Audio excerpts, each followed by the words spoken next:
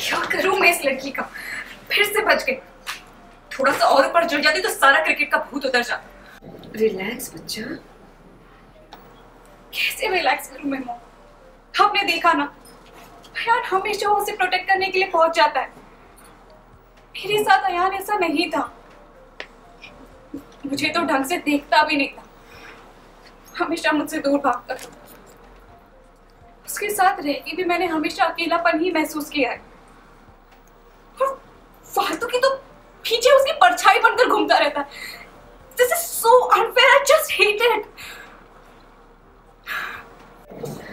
I am so sorry for all this आप लोग तो जानते ही हैं कि किचन में कभी कभी ऐसे एक्सीडेंट्स हो जाते हैं। बट थैंक गॉड तनु और फालतू दोनों बिल्कुल ठीक है।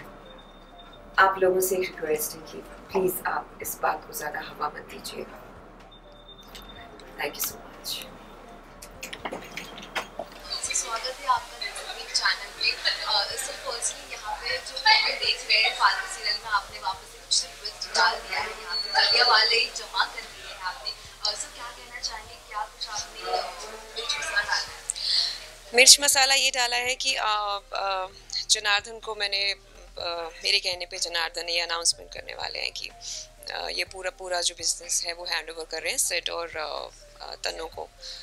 क्योंकि जो आयान ने किया है मेरी बेटी के साथ, उससे जो हम, मैं, हम लोग जो बदला ले रहे हैं तो उसका एक ये हिस्सा है कि पूरा उसका जो भी उस पर कंट्रोल था बिज़नेस पे जनार्दन का तो वो चला जाएगा और सब सीड और तन्नू के हाथ में आ जाएगा तो फिर तो।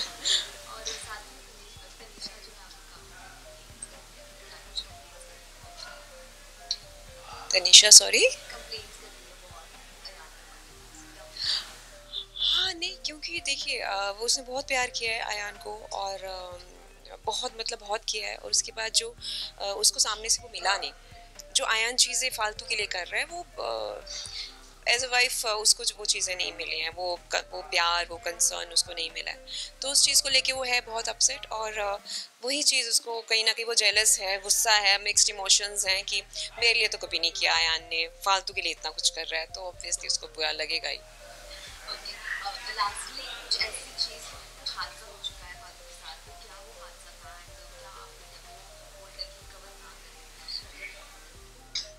हाँ कुछ नहीं, वो थोड़ा सा किचन में काम करते करते कुछ तो उसका हाथ जल जाता है तो वही मैं नहीं चाहती, मैं मीडिया को बोलती हूँ कि इसको प्लीज़ इसको वायरल इसको, इसका दस चीज़ें ऐड करके मत बोलिएगा, क्योंकि वो तन्नू बनाने लगती है तो उसका हाथ चलता है। तो मैं यहाँ पे प्रोटेक्टिव हो रही हूँ अपनी बेटी के लिए।